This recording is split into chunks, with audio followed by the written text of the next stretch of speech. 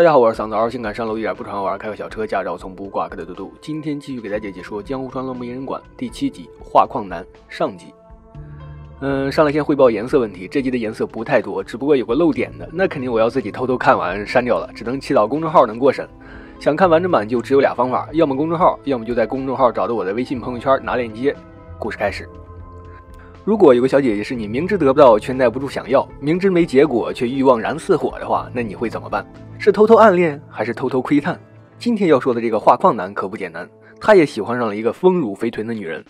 他不仅偷窥，还最终得到了小姐姐。具体是怎么回事呢？这天，江户川正在车站等火车，等火车的功夫也忘不了思考人生。海市蜃楼的确很美，不管是在空中楼阁还是空中花园，都的确很吸引人。这感觉就像是即将坐上火车的江户川，即将要去的地方，对人总有莫大的吸引力。江户川一袭黑衣上了火车，车厢里三三两两坐着七八个乘客，他们两人坐在一起有说有笑，不知道是不是也对将要去的地方充满了期待。要说这人群中最让江户川好奇的是车厢最里面一个鬼鬼祟祟、东张西望的男人。这个男人穿着一身老式西装，那个样式只有江户川他爹那个年龄的人才会穿。他手里紧紧抱着一幅画，看起来很紧张的样子，还不停地自言自语。男人慌张地看着窗外，还不停地把画框移动位置，好像在故意让画框欣赏着窗外的风景。等江户川走到身边，男人才反应过来身后有人，他兴奋地问：“你是不是也想看看这个东西？”本就有些好奇的江户川当然不会拒绝。可当男人把画框转过来的那一刻，江户川也吓了一跳。只见画框上是一个浓眉大眼、有凶气的女人，那个样子在现在看来肯定是开了滤镜、开了美颜、开了瘦脸、开了大眼的。但在那个年代还没有这么多骗人的高科技，所以当看到这个漂亮性感女人的那一刻，江户川也热了。这不可能，此胸只应天上有人间哪得几回闻。江户川痴痴地看着画框，着迷了有半个小时。要不是旁边还有个西装大叔，江户川估计都得钻进去占他便宜。要说素描油画，自己也见了一堆，也算是见过世面的男人，但和这个压画中的女人比起来，简直就是九牛一毛，不值一提。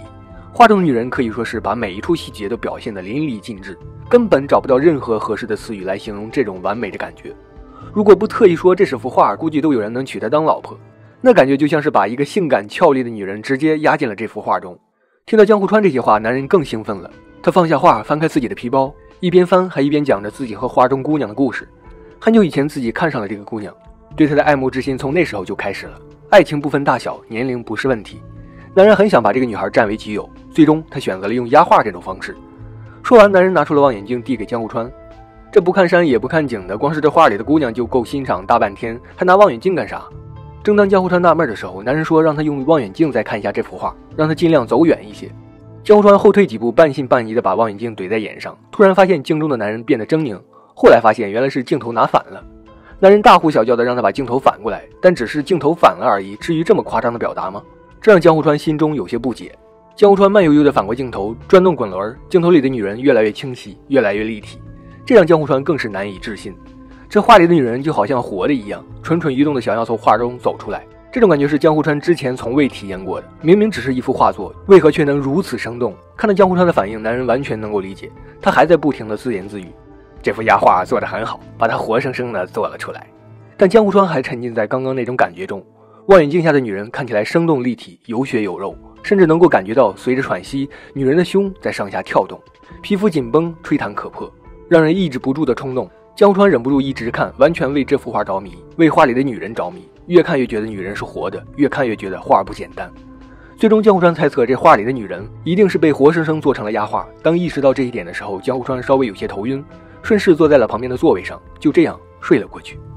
火车轰鸣着往前冲，不知过了多久，江户川慢慢醒了过来。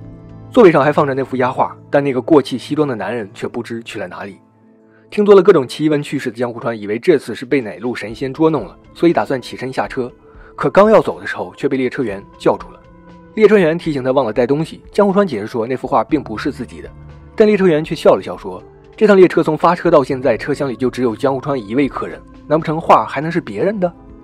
江户川听后一惊。等他再仔细看那幅画，发现画中多了一个男人，正是那个过气西装的男人。他弓腰站在画中，女人倚靠在他的腿上。江户川这才意识到事情不对。